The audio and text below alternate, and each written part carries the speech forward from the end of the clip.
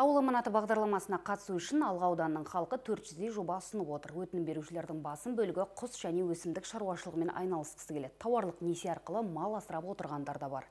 Ауданға сапарында аймақ басшысы жобаға қатысып жатқан халықаралықтармен кездесті. Евгения Макаревич 2016 жылдан бері құс шаруашылығымен айналысып келеді. Тәжірибесі мол, шаруашылығында ет өңдеу құрал жабдықтары бар. Жылына 36 мың жұмыртқа және 12 тонна ет шығарады. Енді ол кәсібін кеңейтуге ауыл аманаты арқылы 28 миллион теңге несие алмақ. Занимаюсь птицей 6 лет. Құс шаруашылығымен айналысып жүргеніме 6 жыл болды. Қазір 1200-ден аса тауық бар. Кәсібімді ауыл аманаты арқылы кеңейтсем деп отырмын. Мен бұл жобаның әрі қатысушысы, әрі ментормын. Құс шаруашылығы жайлы сауалдарға жауап беріп жүрмін. Инкубация процесі жайлы жиі сұрайды. Алғада құс шаруашылығына қызығатындар көп. Жалпы аудан бойынша ауыл аманаты жобасына 400-дей өтінім түсті. Алға қаласының өзінде іс бастауға ниеттілердің саны жүзден асады. Скрининг жұмыстарын өткіздік ауыл аманатында.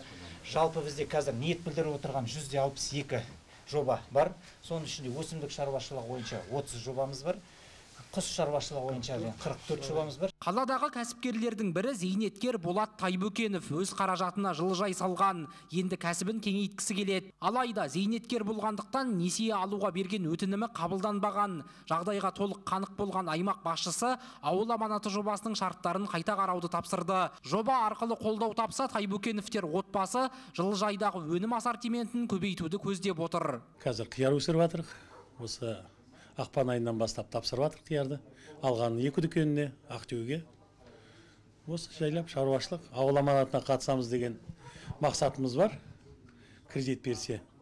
Бірақ пенсионер деп отказ беріп жатыр енді оны балам қазір өзіне аударып сол енді бұйырса ендігі жылы саламыз тағы осы жылы тағы. Аймақ басшысы нұрбұлақ ауылына да барды. Мұнда ақжол есіркепов мал шаруашылығымен айналысып жатыр. Атап өтерлігі кәсіпкер мал азығы ретінде гидропониканы қолданып отыр. Гидропоника малға беру азығымен осы қыс айының басынан бастап айналысып жатқан болатынбыз. Яғни бұның ең басты тиімділігі біз үшін экономикалық жағынан тиімді өте тиімді. Мысалы біз бір килограмм жем ексек содан сегіз жеті килограммға дейін өнім алып отырмыз. Өзіміздің мысалы сүт бата ірі қараға сүт өніміне тікелей әсер етіп тұр. Біз енді бұны бастап алған кезде ешқандай материалдарын құрылыс құралдарын ештеңе сатып алып көрген жоқпыз. Өзіміздің қолымыздан технологиясын жаңағы қарап зерттеп осындай өнімді қалай алу керек қандай көрсеткіштер болу керек соның барлығын зерттеп алдық. Бұл бидай және арпа дәнді дақылдар. Яғни жүгері бидай арпа қандай дәнді дақылдар бар соның барлығын өсіруге болады.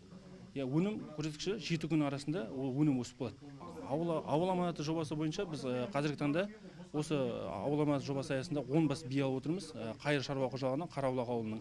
Сонымен қатар батыс қазақстан облысы жаңғал ауданынан елу бас қазақтың ақбас қашаны алып отыр асыл тұқымды. Яғни оның өзіндік жаңағыдай талабы бойынша шартты мерзіммен келісімшартқа отырдық. Яғни алынған төлдің жыл сайынғы елу пайызын қайтарып отыру жөнінде.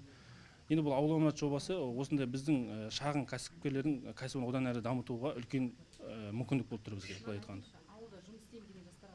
Ауылда жұмыс істеймін деген жастарға жұмыс көп. Яғни қарапайым қара жерге бір дәнеексең ол күздігүні өнім болып шығады. Өте жоғары табыстың негізгі көзі ауыл деп есептеймін өзім. Өңір басшысы амангелді ауылындағы шаруа қожалықтарының да жұмысымен танысты. Мұнда тауарлық несие арқылы мал бағып отырғандар бар. Айтып өтейік жоба аясында тауарлық несие беру тек ақтөбеде ғана қаралған. Нұрбол жауынбаев руслан елтаев николай сырбов ақтөбе телеарнасы.